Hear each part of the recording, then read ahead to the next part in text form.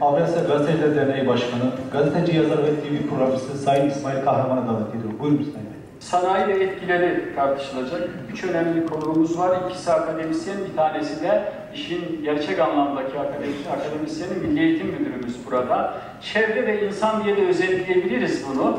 Ama çevre noktasından Dilovası geçmiş yıllara göre 30 yıl, 25 yıl önceye göre çok şanslı. Çok önemli konuklarımız var.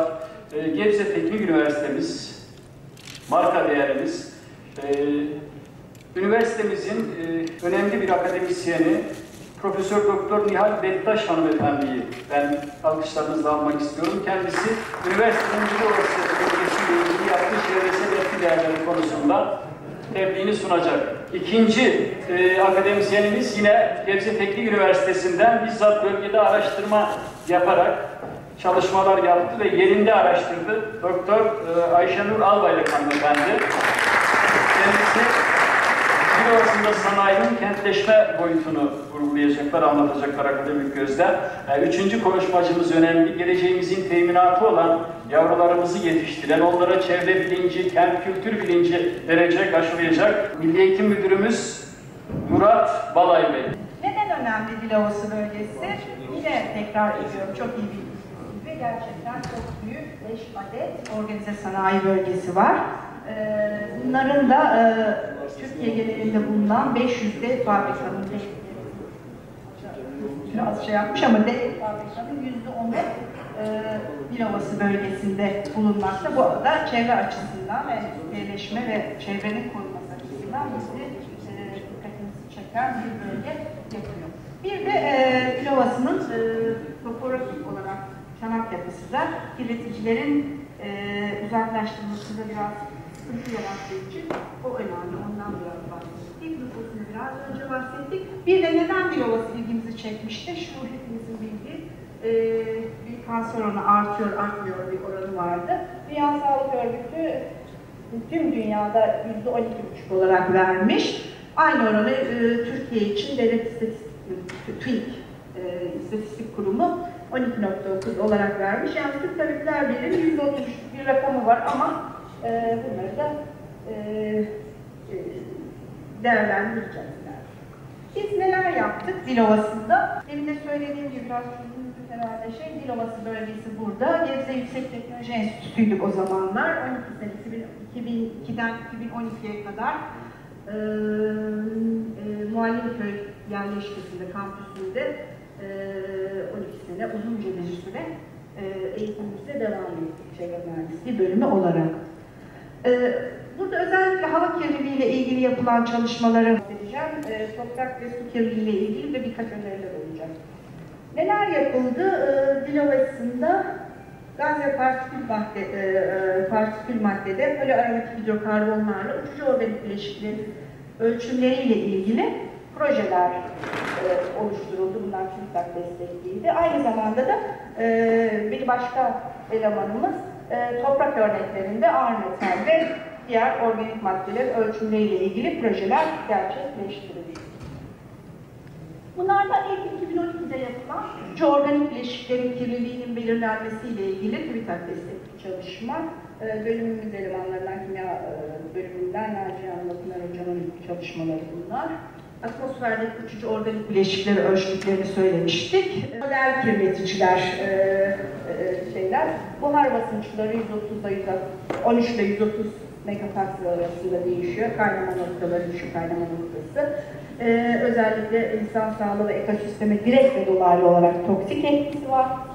Ee, bunlar da e, en yaygın bilinenleri benzen, polyen, etilen, etil benzen ve pislerin baş harflerinden oluşan bir tekst diye adlandırılan e, dördünün birlikte ölçüldüğü bir tekst e, en yaygın e, gözlenen çeşitler olarak bunların e, izlenmesini yapmışlar. EPA'da yani e, Amerika Birleşik Devletleri Çevre Koruma Ajansı tarafından 1990'da yayınlanan temiz e, hava e, aksıyla da bunlar en kirletici, kirletici hava kirleticilerin arasında yer almış. Nedir bunların kaynakları? Biyosiler nereden en çok kaynaklanıyor? En çok kaynaklanan yer e, solvent kullanımı ve e, fosforlu taşıtlardan. Daha sonra endüstriyel işlemler, ulaşım dışı taşıtlar e, olarak kaynaklarını sınıflayabiliriz. Bir ovasında bunların kaynağı diye bakarsak, bir ovasındaki en büyük kaynak sabit ve hareketli kaynaklar olmak üzere ikiye ayrılmış arkadaşlar. Ee, bunlardan işte sabit kaynaklar gerçekten e, demin de söylediğimiz gibi e, sayıları 230'u aşan, bunların da 125 tanesini emisyon derken e, hava emisyonu olduğu bilinen sanayi tesisleri ve e, bunların faaliyet çeşidini göre, göre meydana gelen salınımlardan kaynaklanıyor biyosiller. Aynı zamanda ısınma amaçlı yakma olaylarından da biyosi kaynaklanmakta. Diğer bir biyosi solvent kullanılıyor çünkü akaryakıt, doğalgaz ve LPG kullanımı sonucunda oluşan salınımlardan e, biyosi kaynağı olarak karşımıza çıkmaktadır. Hareketli kaynaklar tabii ki tem, tem e, D100 karayolu, demir yolu, sigara kullanımı ve kimyasal madde boya çözüm kullanımı sonucu oluşan karışımlarda e, üçüncü organik bileşiklerin kaynağı olarak karşımıza çıkmakta. Nedir e, biyosiler? Neden önemli? Biyosiler iki nedenle önemli. E, biyosileri bir alt atmosfer ve üst, atmosfer olarak ikiye ayırırsak nedenlerini, üst atmosfer yani stratosferde e, ozon tabakasının inceltilmesi var. E, strato- stratosferdeki ozonu istiyoruz çünkü ozon tabakası güneşten gelen zararlı ışınları e, zararlı ışınların tutulmasında yararlı. Biyosiler ozon tabakasındaki ozonun e, parçala, e, ozonu azaltıcı reaksiyonlarda rol alıyor ve ozon tabakasının incelmesine neden oluyor. Üst atmosferde e, e, şeyi biyosiler istemiyoruz. Şey, ozonu e, istediğimiz ozonu incelttiği için e, e, biyosilerin üst atmosferdeki etkisi böyle bir de alt atmosferde yaşadığımız atmosferde yani tropo- troposferdeki ozon oluşumunda ise ozonu kendisi oluşturuyor. Ama burada ozonu istemiyoruz çünkü ozon alt atmosferde fotokimyasal fotokimyasal duman oluşumu ve e, oksidan etkisiyle e, zararlı etkisi var. İnsan sağlığına zararlı olduğu için de atmosferde ozon oluşumu nedeninden dolayı, biyosilerin ozon oluşumuna neden olduğundan dolayı da alt atmosferde istenmemekte. İnsan sağlığına etkilerine bakacak olursak da e, akut ve kronik etkileri düşük dozlarda bile solunum yolu hastalıklarına aslında düşük dozda ve diğer solunum yolu hastalıklarına yüksek e, dozlarda da e, sinir sistemi hastalıklarına neden olmakta. E, aynı zamanda en e, benzinin de EPA tarafından kanserojen madde olarak e, değerlendirildiği, e, risk taşıyan kimyasal madde olarak değerlendirildiği görülmüştür. Numune alma noktaları biri kendi kampüsümüz e, Muallimköy olmak üzere 12 noktada örnekleme yapılmış. Biraz çözünürlük fazla, oldukça fazla noktada yapılmış. E, bunlar e, pasif örnekleme e, dediğimiz e, içinden işte havayı çekerek ve tüplerin bırakılarak difüzyonuna e, alınan örnekler. E, iki haftalık 12 noktaya pasif örnekleme sistemleri bırakılarak e, iki hafta süreyle gözlemlenmiş. Yani her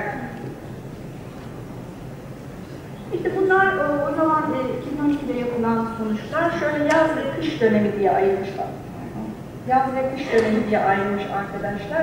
E, farklı noktalarda e, şu olan yaz dönemi, e, kırmızı olan kış döneminde, yaz döneminde e, biyosis salınımının daha fazla olduğu ve işte, e, sıcaklıkla buharlaşmanın, düşük buhar, e, buharlaşma noktasına sahip olduğu için bu biyoslerin buharlaştığını yaz aylarında daha fazla düşünmekteyiz. Yine arkadaşlar e, biraz daha çok e, detaya girmişler. Her bir e, noktada biyosileri, e, biyosileri kendince sınıflamışlar.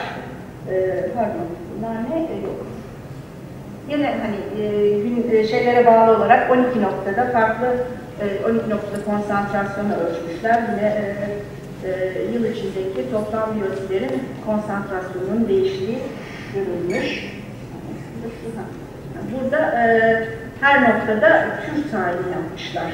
Yani e, bunlar e, üçüncü organik bileşikler çok fa- farklı kimyasalların bir araya gelmesiyle oluşuyor. Onların tür tayini de yapılmış. Böyle bir kirlilik haritası çıkartmışlar. E, kirlilik haritasında e, kirlilik haritasında e, güneyinde, e, bölgenin güneyinde birazcık daha yoğunlaşma. Biraz sonra göstereceğim rüzgar hareketlerinden dolayı bunu da açıklamış arkadaşlar. E, biyosferin e, daha çok şu bölgede e, yoğunlaştığını göstermişler. O da neden? E, kuzey, kuzeybatı, e, kuzeydoğu yönlerinden çoğunlukla esen rüzgarlar ilçenin e, ve körfezin güneyine doğru bir taşınmaya neden olacağını, kaynakların kuzeyde yoğunlaşmasıyla hakim rüzgarları nedeniyle aslında e, e, hakim rüzgar nedeniyle e, kuzeyden güneye doğru bir taşınım olduğunu olduğu düşünülmüş. Yine ikinci çalışmada poliaromatik hidrokarbon kirliliği ölçülmüş e, bir ovasında. Bu biraz daha eski bir çalışma. E, hava kirliliği konusunda yapılan çalışmada. Nedir e, poliaromatik hidrokarbonlar? İki veya daha fazla aromatik halkası bulunan organik yapıdaki bileşikler. E, yine yanma en büyük kaynağı bunun da yanma. E, başka kaynağı fosil yakıtlar. E, Rın kullanımı hem sanayi tesislerinden hem ev- evsel e, kaynaklı ısınma amaçlı e, yanma olaylarından poliaromatik hidrokarbonlar ortaya çıkabilir.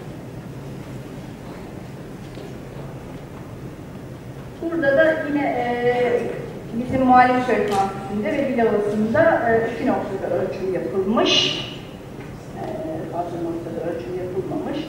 Muhalifköy yerleşkesinde ve Bilav'ın merkezinde e, belediye bina çatısında yapılmış. Hem gazda, hani havadan alınan örnekte hem de çöken partiküllerde e, örnekleme yapılmış. Biraz sonra bir karşılaştırma vereceğim. Orada e, bunun ne kadar anlamlı olduğunu görebilirsiniz.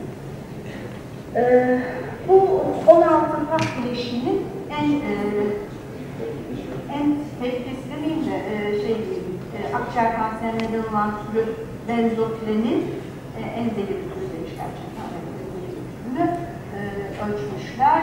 E, 2008 Nisan-Eylül arasında yapılan ölçümlerde e, kırsalda 2 nanogram metresinden Milovası merkezinde 20 nanogram metre düşmüş.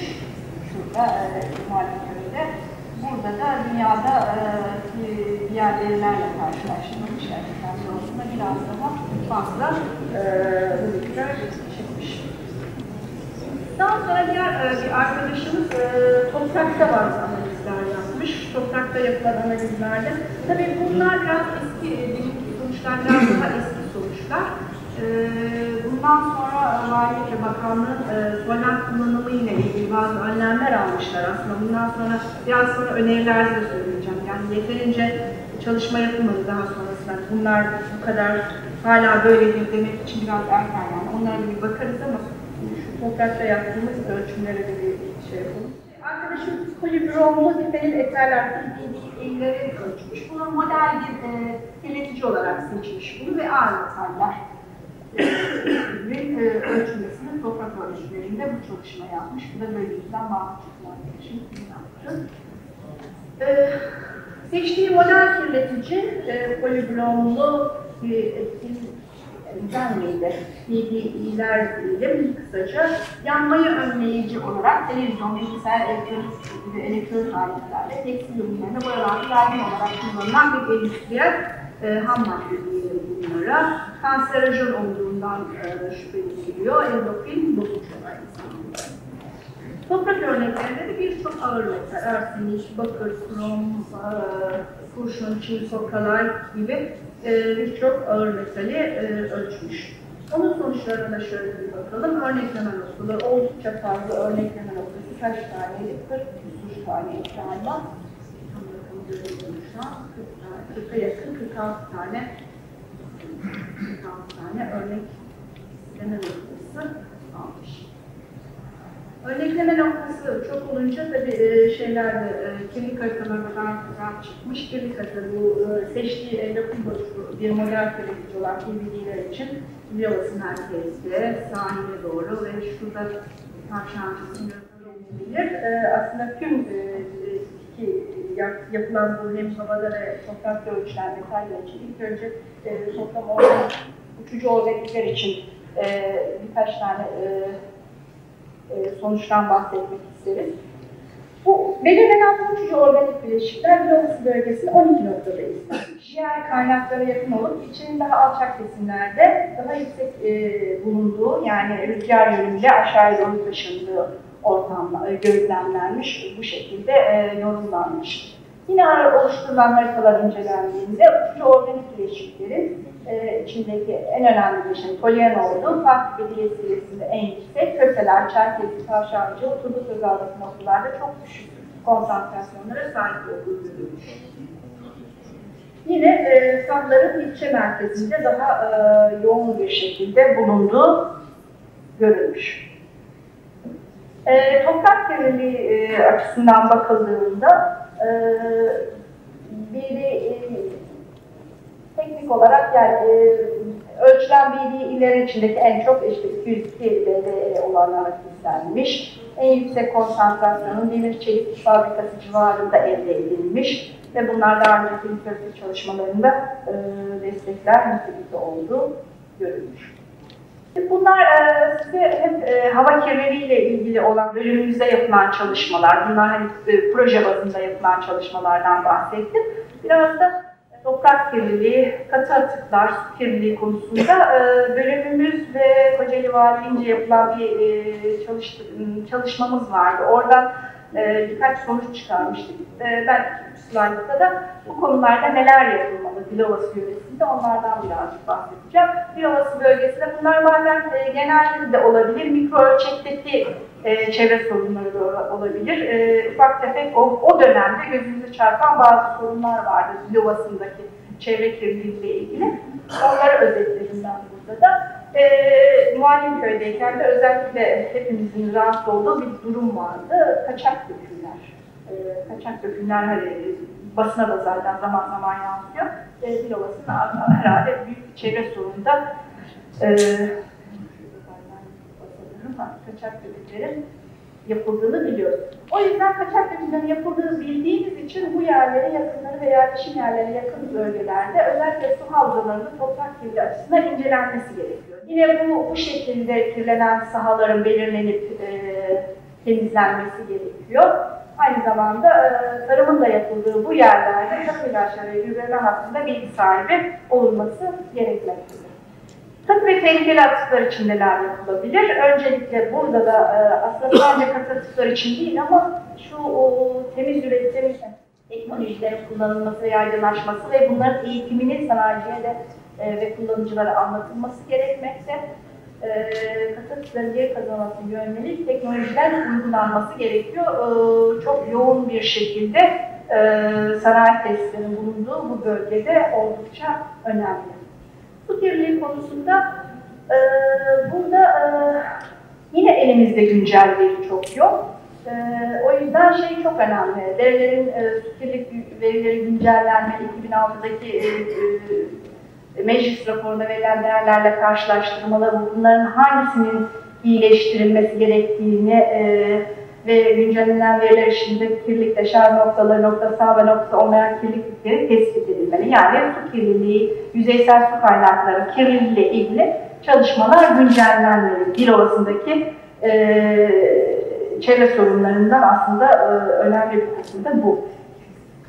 Genel öneriler, bu, bütün bunların içinde biraz hava kirliliğine fazla zaman ayırdık ama genel olarak e, benden sonraki e, konuşmacı da herhalde bahsedecek ama yani e, sanayi ve yerleşimin içi olması, topografi yapısı, çok küçük bir alanda çok sayıda organize sanayi bölgesinin olması, sanayi tesislerinin bulması nedenleriyle e, çevre kirliliğinin önlenmesi açısından çeşitli tedbirlerin alınması gerekmektedir. Bu da nasıl olacak? Ee, çeşitli kurumlar e, arasında sıkı bir koordinasyon ve şeffaflık ile problemlerin çözümünün giderilmesi ve tüm paydaşlarla oluşturulacak bir grupla şeffaflık içinde bölge sorunlarına çözüm getirecek çalışmalar yapılması gerekli. E, arazi kullanımı ile ilgili benden sonraki arkadaş herhalde biraz bahsedecek. Artık daha fazla organize sanayi bölgesi gelmesin bu bölgeye diye düşünüyorum artık. Yani onların planları yapılmalı. E, bu da önemli. Bölgede kullanılan sınır derler. Biz hep e, Kocaeli Sanayi Odası'nda ben e, çevre platformunda görevliyim. Orada hep şey yapıyoruz, e, Çevre Bakanlığı'yla da şey yapıyoruz. Belki de Türkiye yönetmelikleriyle belirlenen sınır değerlerinden farklı olarak bölgeye has E, bölgeye e, özgü e, sınır değerlerin belirlenmesi lazım. Bunlar mesela havza bazında yapıldı. Her havzanın kendine öz, e, özgü e, deşarj limitleri var. Aynı şekilde belki de Dilovası'nın artık çünkü daha fazla kirlilik kaldıracak bir hal şeyimiz olmadığı için e, sınır değerleri belki de daha da düşürülmesi gerekmekte.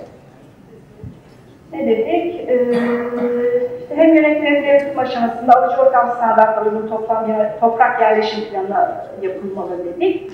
Ee, bu da önemli. Ön çalışmalar ve bu raporlar size sunduğum bunlar kirlilik problemi olduğunu göstermekle birlikte ancak tam bir değerlendirme yapmaya izin vermemekte aslında. Yani bu tam böyledir değil. Bu bir dönem ölçtüğümüzde bunlar çıkmıştır. Aslında tüm veriler bunu gösteriyor. Bu nedenle aslında bu bölgede daha detaylı ve e, sürekli çalışmaların yapılması gerekmektedir.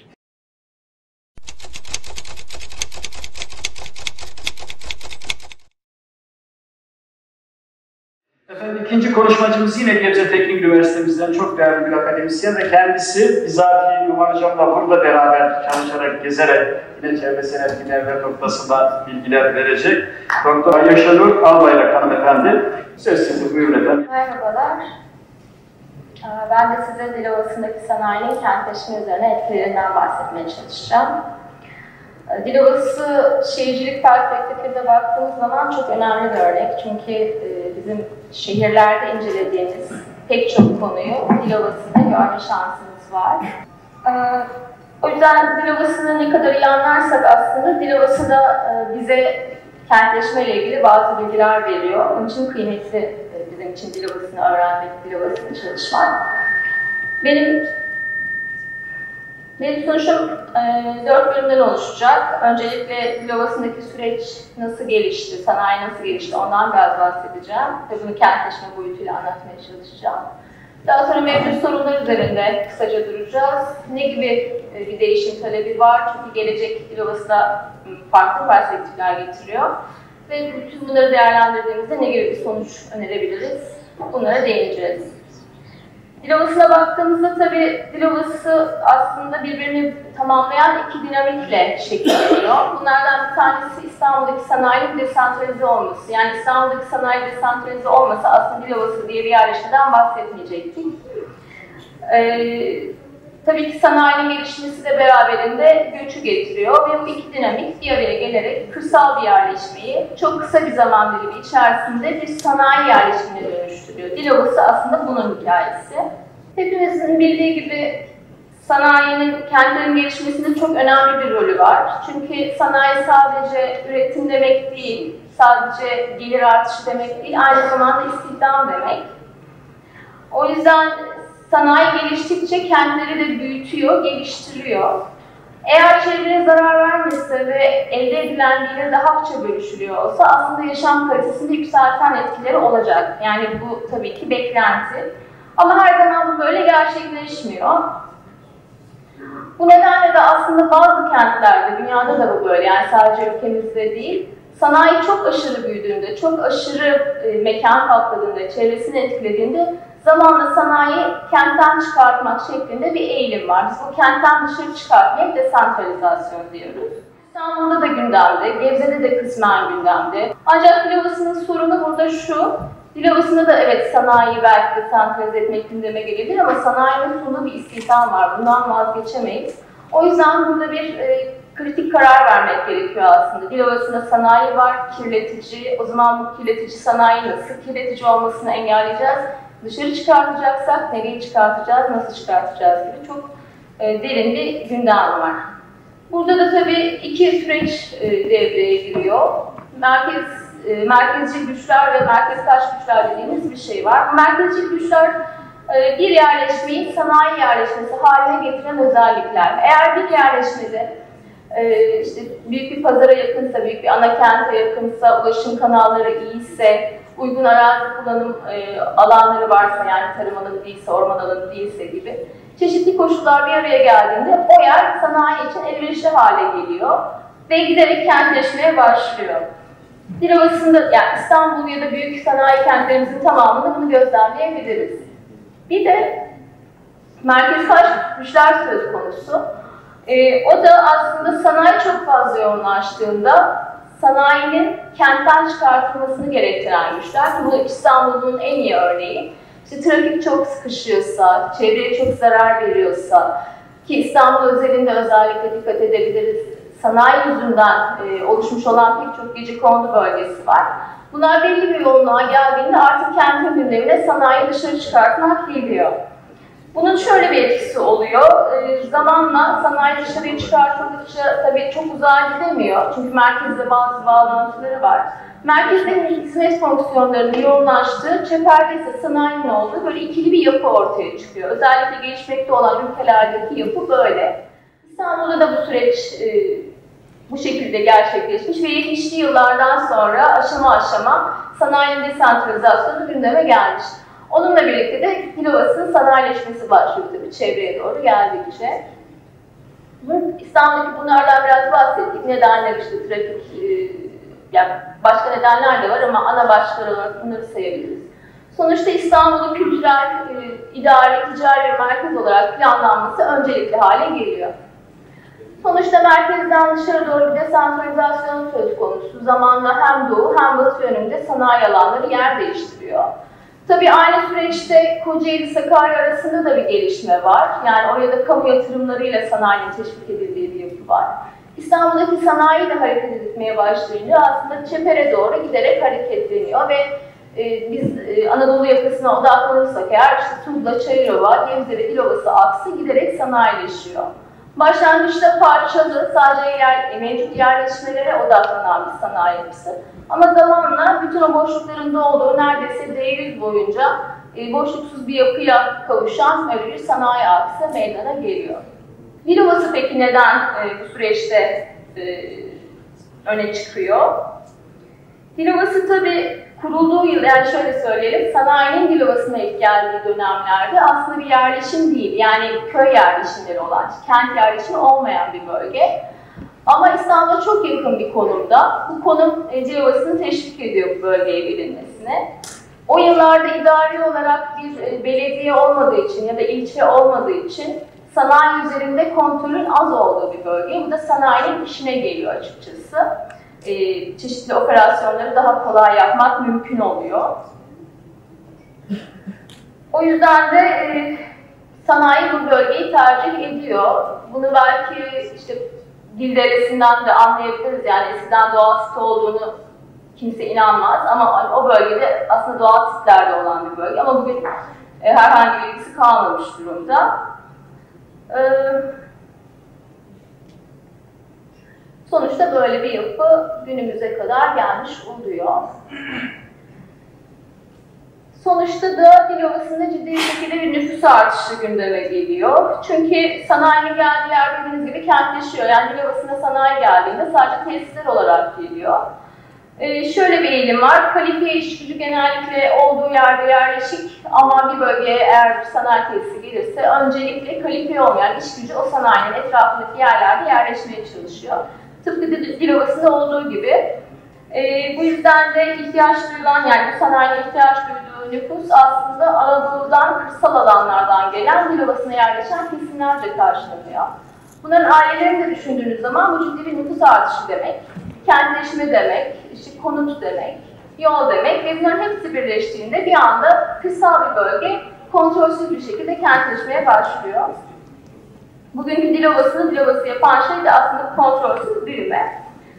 Doğal olarak da pek çok sorun gündeme geliyor. Yani çünkü sanayi yapıldığı zaman sadece o tesis yapılmıyor. O tesise hizmet eden başka tesisler yapılıyor. Bunlar sanayi tesisi olabilir, çeşitli hizmet kuruluşları olabilir, e, ya da göç eden ailelerin e, yaşam alanları e, yapılıyor. Onlara yönelik okullar yapılması gerekiyor, sağlık tesisleri yapılması gerekiyor ve bu büyük bir e, nüfus artışı istihdam demek.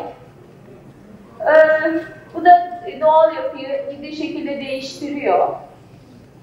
Çevre sorunları gündeme geliyor. E, bununla birlikte tabii ki konut sorunu e, özellikle plan mekanizmaları içerisinde çözülemediği için sağlıksız alanlar meydana geliyor. Tabii bu süreçte aslında şeyden bahsetmemiz lazım, dezavantajlı e, gruplar meydana geliyor. Yani E, burası evet bir sanayi bölgesi ama aynı zamanda istihdam edilemeyen ciddi bir nüfus var. İş arayan gençler var ya da istihdama katılamayan kadınlar var. E, yapılaşma planlı bir şekilde olmadığı için e, fiziksel koşullara uyum sağlayamayan gruplar var. Yaşlılar olabilir bunlar, fiziksel engelliler olabilir. Yine e, gençler için, çocuklar için uygun sosyal donatılar yok. Bunlar çok ciddi problemler. Bunlar da dil havasında karşımıza çıkıyor. Elbette sadece e, çok fazla yani problemler aslında belirlemeyecek tabii ki dil havasının geleceğini. Çeşitli fırsatlar da var. E, bunların da bir kısmının aslında tıpkı dil havasının sanayileşmesi gibi dil havasının dışındaki bazı süreçlerle şekillendirildiğini görmeniz lazım. Yani e, farklı e, amaçlarla aslında politikalar üretiliyor. Burada konu şu, e, bu fırsatları tanımlayıp dil için en yararlı politikaları üretecek bir irade sergilemek ve yerelde bunu kullanacak bir kapasite yaratmak. Eğer bunu yapabilirsek işte tüm kamu yatırımlarından, e, bu dışsal süreçlerden dil için faydalı bir e, çerçeve bulup çıkartabiliriz. Özellikle dil havasındaki sanayinin e, hem bu fonksiyonun güçlendirilmesi hem dönüştürülmesi, geleceğe dönük olarak yeniden organize edilmesi gerekli. Sonuçta, tabii şimdi ışıklar açıldığı için tam iyi göremiyorsunuz. Ee, ulaşımla ilgili ciddi yatırımlar var ve buradan anlıyoruz ki aslında Dilovası gelecekte çevresiyle ilgili daha güçlü bağlantılar geliştirecek. Özellikle Bursa'da dahil olmak üzere etrafındaki yerleşmelerle olan entegrasyonunu geliştirecek. Etrafında tabii bazı değişimler olacak. Yani Dilovası'nın içinde ciddi bir konut alanı var. Bu konut alanının bir kısmının değişmesi gerekiyor ve burada bir kentsel dönüşüm talebi var. Bu kentsel dönüşümün gündeme gelmesi gerekiyor. İşte çeşitli şeylerden bahsediliyor, köylere doğru bazı gelişmeler olacak diye. Burada tabii çok dikkat etmek gerekiyor. Şu an Dilovası'nın kuzeyine doğru ciddi sanayi yatırımları yapılmış durumda. Bu sanayi yatırımlarını sadece e, sanayi parseli olarak düşünmemek lazım. Yani sanayi parseli, işte kirletmeyen sanayi organize ettik, artık organize sanayi demek ki etrafını kirletmeyecek. Evet ama yolunu yapmak zorundayız. Sanayi gittiği zaman etrafına başka tesisler de gelecek demektir ve o bölge değişmeye başlayacak. O yüzden Dilovası'ndaki mevcut gelişmenin kuzeye doğru taşınmakta olduğunun farkında olmamız önemli. Burada bir şeye karar vermeliyiz. Yani biz e, burayı bir gayrimenkul gelişimi olarak mı göreceğiz? Dilovası'nın bazı değerlerini korumaya mı çalışacağız? Örneğin köyleri eğer Dilovası gibi kentleştireceksek burada kritik bir karar var. Yani neleri koruyacağız? Hangi tarım alanlarını koruyacağız? E, konuta ne kadar izin vereceğiz? Ya da konut yapacaksak nasıl bir konut yapacağız? Örneğin TOKİ konutları gibi konutlar mı yapacağız? Büyük bloklar mı yapacağız? Kentten uzakta uydu kentler mi kuracağız? Bunlar biraz tehlikeli konular çünkü kentle entegre olmayan konut alanları bu tür kırsal bölgeler içerisinde iyi çalışmıyor. Onun için bunların çok iyi analiz edilmesi ve mutlaka çeşitli sosyal projelerle desteklenmesi lazım. Ee, bu tabi bu Çerkeşli Köyü'nün e, kahvesinden bir görüntü. Burada iyi görünmüyor sanırım ama e, Sosyal mekanlara ihtiyaç var ve bunun sadece kent merkezinde değil, konut alanlarının içine de e, taşınması lazım. Özellikle gençler için e, mekanlara ihtiyaç var. Bu da e, bu şey köprüden bir görüntüydü ama tam çıkmamış burada. Bilgisayardaki gibi yansımıyor ekrana maalesef. Derenin kirliliğini görüyorsunuz. Mutlaka çevreyle ilgili çeşitli e, çalışmalara ihtiyaç var. Şimdi dünyada çok yeni yaklaşımlar var. Sanayi her zaman çevreyi kirletmek zorunda değil aslında. Özellikle e, çeşitli simbiyotik ilişkilerle daha az atık üreten, yeşil üretim yapan sanayiler gündeme geliyor. Bunların Türkiye'de de aslında biraz biraz gündeme gelmesi lazım. Telaffuz edilmeye başlandı ama çok da uygulanmadı. Belki Dilovası gibi böyle çevre sorunlarının çok yoğun olduğu bir bölgede biraz daha radikal e, kararlar alıp bu yenilikçi metodları da denemekte yarar var diye düşünüyorum. Çünkü gerçekten köklü değişikliklere ihtiyaç var. Dilovası belki de bunun e, en iyi uygulanacağı yerdir. Eğer özetlersek bugüne kadar tabii neler yanlış yapıldı? Dil havasından çok memnun değiliz hepimiz. Aslında problemlerin daha yoğun olduğunu görüyoruz. Bir yandan geçmişiyle gurur duyuyoruz. Sabahleyin konuşmacılar çok güzel şeylerden bahsettiler ama bazı şeyler ters gitmiş belli ki. Dilovası'nın problemleri aslında İstanbul'un geçmişte yaşadığı sanayiyle ilgili problemlerin biraz daha büyümüş, küçük bir alana hapsedilmiş, derinleşmiş hali. Ve bundan da anlıyoruz ki aslında İstanbul'da yaşanan temel problemlerden hiçbir zaman ders almamışız. Aynı hataları Dilovası'nda tekrarlamışız. Bugün Dilovası'ndan sanayiyi bir başka bölgeye taşıyacak olsak, buradaki problemleri de oraya taşımış olacağız eğer dersleri almazsak. Bu derslerin ne olduğunu üzerine durmamız lazım. Dilovası tabii 70'lerden itibaren aslında yoğun bir şekilde yapılaşmaya başlıyor. 80'ler, 90'lar bunun zamanları. Bu süreç içerisinde aslında çok fazla veri biriktirilmemiş. O süreçler iyi tarif edilmemiş. Sosyal araştırmalar çok fazla yapılmamış. Sabah konuşmacılar e, dikkat ettiyseniz çok küçük küçük şeylerden bahsettiler. Tarihler verdiler, isimler verdiler. Bunlar çok titiz çalışmalarla oldular. Yani elimizde çok fazla kaynak yok aslında elimiz yani sanki biliyoruz yaşıyoruz gibi geliyor ama e, aslında çok derin araştırmalar da yapılmış değil. Bunların artması gerekiyor. Kenti içeren konuları birbirinden kopuk ele almak gibi bir problemimiz var. Ee, özellikle sanayi planlamak, Türkiye'de bu en yoğun e, yaşandığı alan. E, sadece Dilovası için düşünmeyin, her yer için de böyle. Sanayi sadece sanayi olarak planlamak yeterli değil. Sanayi konutuyla birlikte planlamak zorundasınız. Ulaşımıyla birlikte planlamak zorundasınız. Eğer bu birlikte olmazsa sistem çalışmıyor ve kent kilitleniyor. Ve yerel aktörlerin de mutlaka bu süreçte yer alması gerekiyor. O yüzden de öncelikli politika alanları ne olabilir, neler yapılabilir? Mutlaka teknolojik ve algısal bir dönüşüme ihtiyaç var. Dilovası'nın vizyonunu genişletmesi ve dünyayı algılar hale gelmesi lazım. Sürdürülebilir kalkınma yaklaşımı Dilovası için kesinlikle vazgeçilmez. Bugüne kadar yapılan hataların iyi tespit edilip bundan sonra tekrarlanmayacak bir sistem kurulması lazım. İklime duyarlı sanayi girişimi dünyada gündemde, endüstriyel parklar gündemde. Bunların mutlaka buraya da getirilmesi lazım. Neler yapılabilir diye en azından tartışmamız lazım. Bugün bunun başlangıcı olsun. Bunu ileride inşallah derinleştirelim. Mutlaka mahalle ölçeğinden bireysel ölçeğe çeşitli sosyal projeler yapılması lazım. Dilovası'nın sorunları sadece fiziksel sorunlar değil, sosyal konular. E, sanıyorum benden sonraki konuşmacı onlara değinecek biraz. E, doğal alanların, kırsal dokunun mutlaka korunması lazım ve son olarak e, tekrar tekrar söylemek isterim ki planlı gelişmeye ihtiyaç var. Bu zamana kadar plansız gelişti ama bundan sonrası için biraz daha durup düşünerek, e, tartarak, araştırma yaparak planlayalım demek isterim. Çok teşekkür ederim.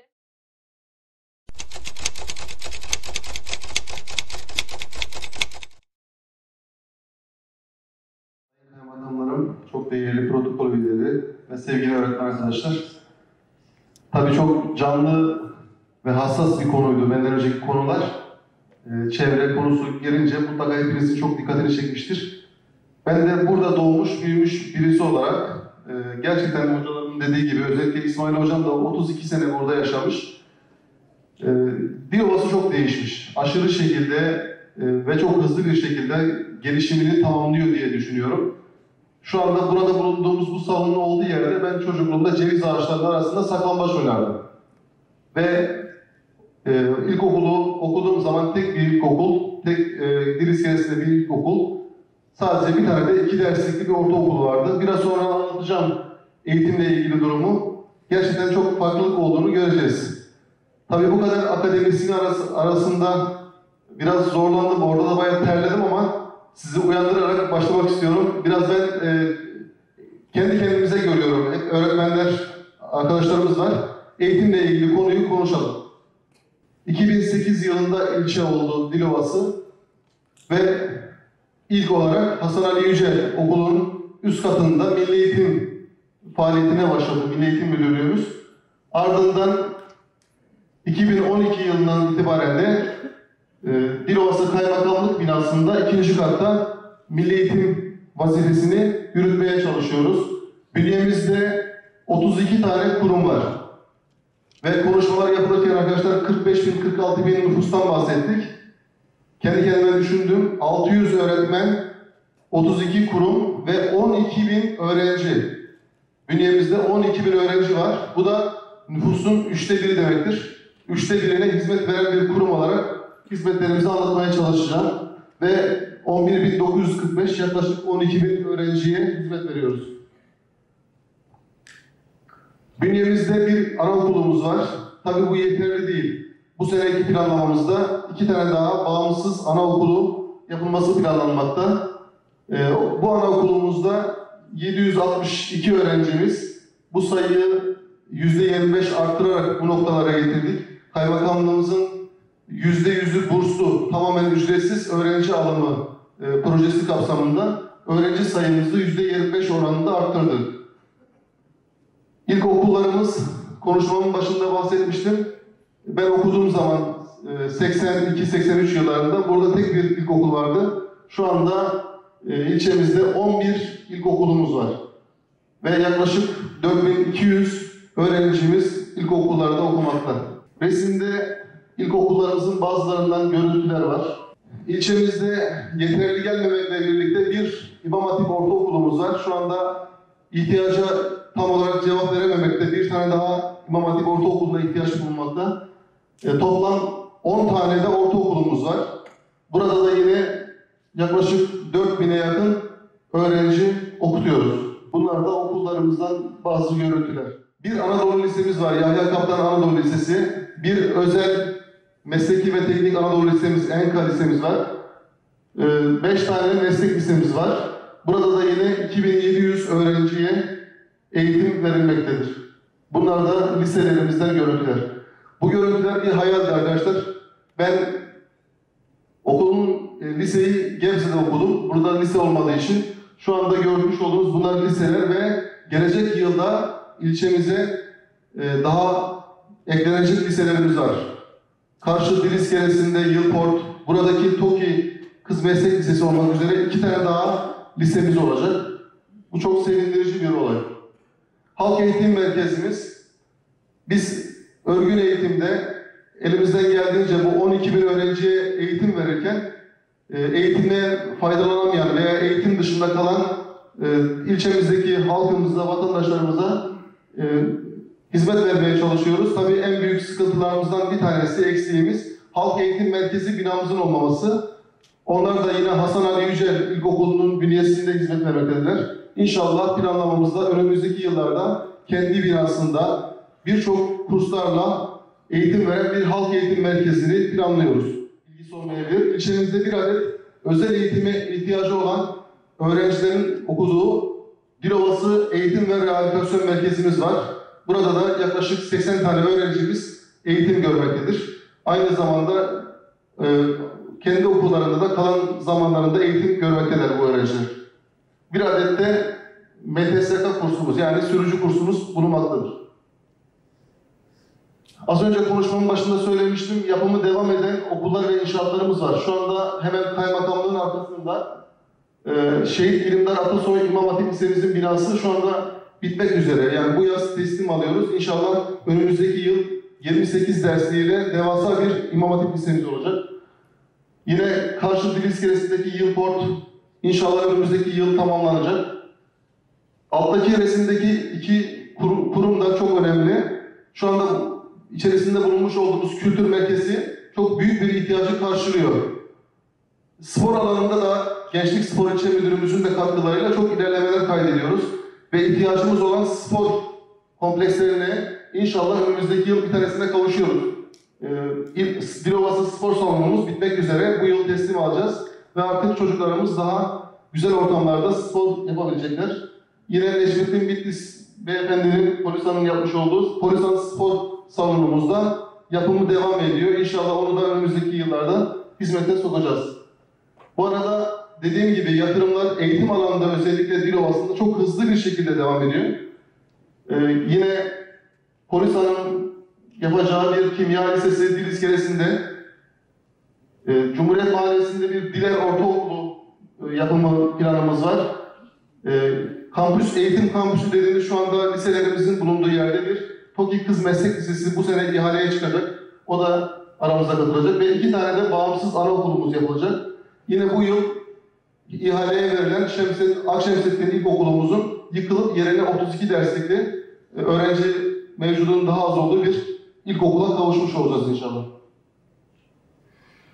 İlçemizde sevindirici haberlerin en başında arkadaşlar öğretmen kadromuzun artması gelmektedir. Bu yıl 197 öğretmen aramıza katıldı ilçemizde. Bir yılda aldığımız öğretmen ve şu anda ilçemizde toplamda 594 öğretmenimiz var. Sadece 84'ü ücretli. Bunlar da sene içerisinde zorunlu hizmet bitip de ayrılmak durumunda kalan öğretmenlerin yerine gelen öğretmenlerimiz oldu. Ama bu çok sevindirici. Şu anda 600 öğretmenin yaklaşık 60 tanesi sadece ücretli. Ee, geriye kalan kısmı %90'ı kadroludur. Bunun semeresini inşallah ileride göreceğiz. Burada öğrenci sayılarımız var. Okul öncesi ve toplam sayıları görüyorsunuz. Yaklaşık 12 bin öğrencimiz var. Şimdi geleceğe baktığımız zaman sabahki ilk oturumda e, benim de bilmediğim çok güzel Dilovası'nın yönlerini öğrenmiş olduk. E, Tavşancı bölgesi özellikle beni çok dikkatimi çekti. E, tarihi yönleriyle. Tabii bir ekran koruyucu ekran koruyucu olur ya bilgisayarda. Çok güzel bir görüntüydü. Onlarla e, çok güzel şeyler hissettik, duygular hissettik. Biraz önceki, benden önceki konuşmaların çevreyle ilgili konuları biraz daha gerçekliğe indi. Ee, ama bizim de eğitimde güçlü ve zayıf yönlerimiz var. Onları da sizlerle paylaşmak istiyorum. Birinci önceliğimiz e, ilçemizde kaymakamlığımızın eğitime verdiği destek ve bu alandaki katkıları. E, Bu anlamda bütün okullarımız ziyaret edilmekte, öğretmenlerimizle, e, ka- muhtarlarımız ve aile birlikleri e, nezaretinde görüşmeler yapılmaktadır. Yine ikinci bir şans olduğumuz, şanslı olduğumuz konu e, ilçemiz belediyesinin milli eğitime olan katkıları. E, yine okullarımızın tüm hizmetli ihtiyaçları, kırtasiye ihtiyaçları ve diğer ihtiyaçları e, belediyemiz tarafından karşılanmakta. Bu da yine eğitim anlamında bize moral ve destek olmaktadır. Üçüncü güçlü yanımız genç dinamik öğretmen kadromuz. Öğretmenliğe ilk başladığım yıl aklıma geliyor. Çok enerjik, çok dinamiklik ve idealistlik. E, gittiğimiz yerde hemen değişimi sağlamaya and içmiştik. Buraya gelen öğretmenlerimizin de çoğu ilk atama. Onların çoğu e, yaş grubu olarak da göreceksiniz. 25 yaş altında olan yaklaşık 120 öğretmen var. Ve diğerleri de hemen hemen 35 yaş altında. Bu genç öğretmenlerin çok idealist olduğunu biliyorum. Çok e, iyi enerji sahip, enerjikler. Bu bizim en büyük ve güçlü kaynağımız.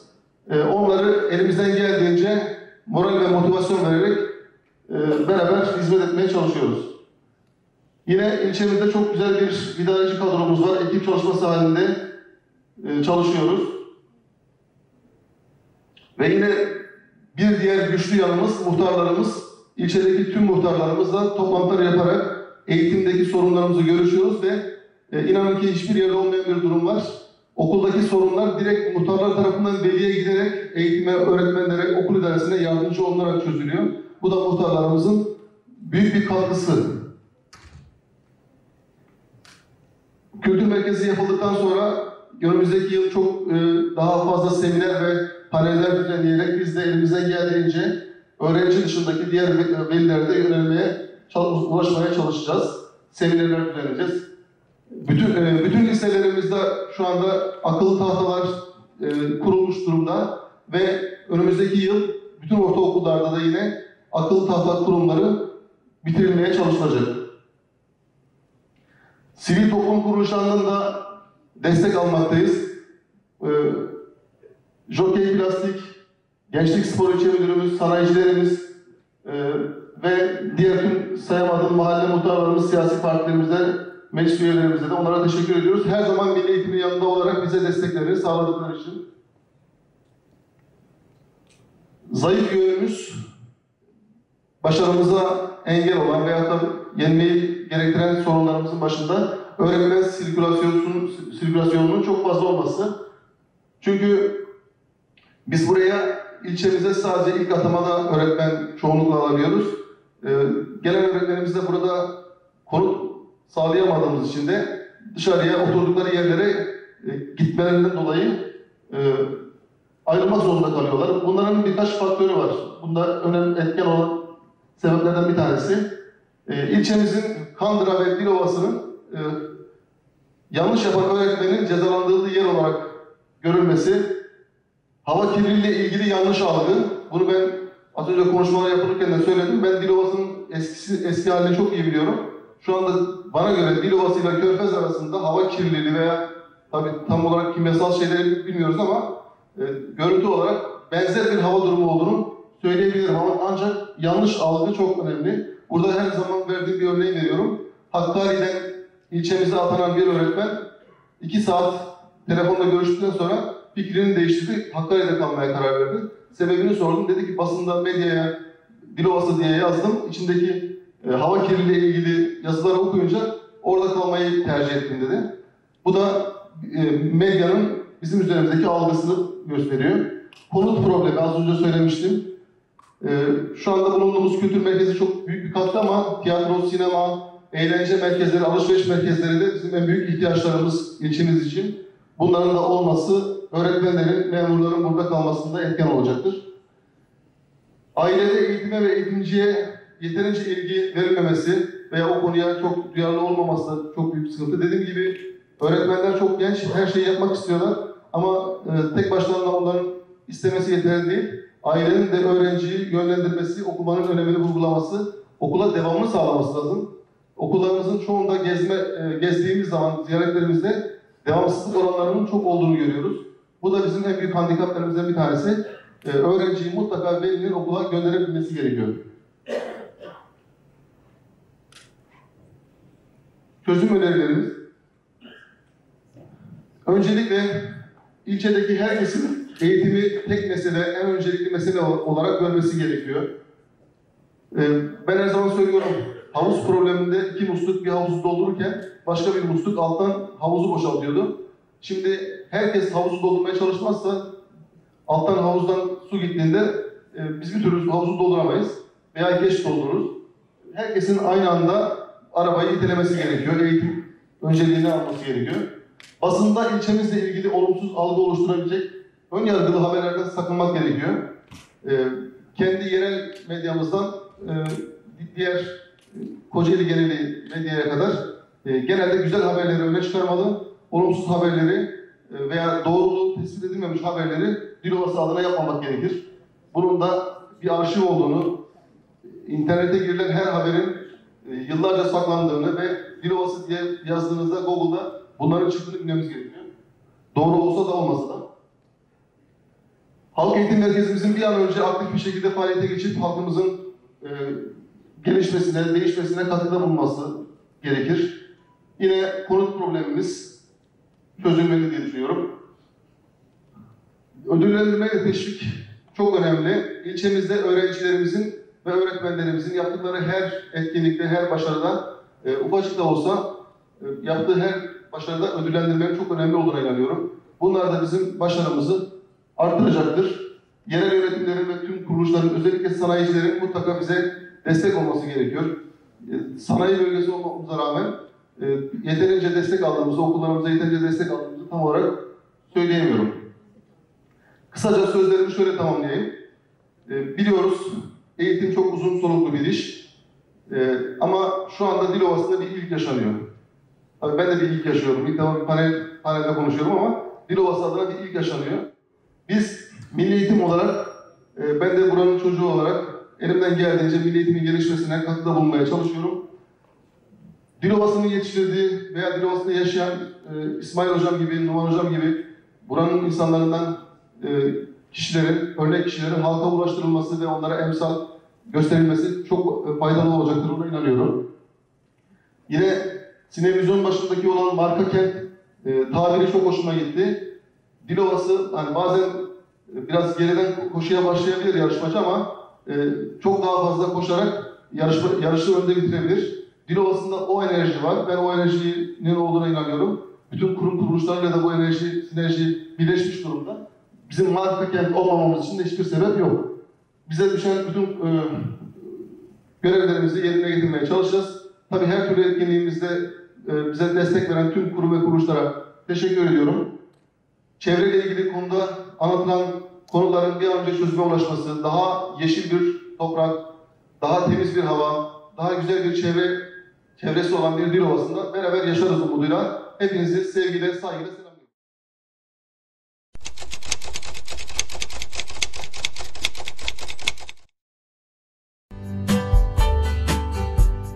Tarih ve kültür bilincine sahip olmak, her şeye sahip olmaktır. Belgesel yayıncılık ve İKTAV tarafından hazırlanan Devri Alem belgesel televizyon programlarıyla 1982'den beri kültür ve medeniyet tarihimizin hizmetinde. İnsan, eser ve hizmetleriyle yaşar. Devri Alem belgesel televizyonu programlarına sponsor olabilir, kitap, belgesel ve DVD setlerinden satın alarak yeni belgeseller hazırlanmasına katkıda bulunabilirsiniz. Eser, hizmet ve kuruluşlarınızın belgeseli var mı? Kar ve ticari amacı olmayan İlim, Kültür, Tarih ve Teknoloji Araştırmaları Merkezi, Belgesel Yayıncılık Kütüphanesi ve Devre Alem Belgesel Televizyonu Program Arşivi, tarih ve kültür araştırmacılarının hizmetinde. Ömrünü dünya coğrafyasındaki kültür ve medeniyet tarihimizi araştırmaya adayan Devri Alem Belgesel Televizyonu program yapımcısı İsmail Kahraman tarafından kurulan İKTAV gönüllülerine siz de katılın. Gönüllerde yaşayın. Eser ve hizmetlerinizi belgeselleştirerek hoş sedalar bırakın. İKTAV ve belgesel yayıncılık. Kubbede hoş seda bırakmak için.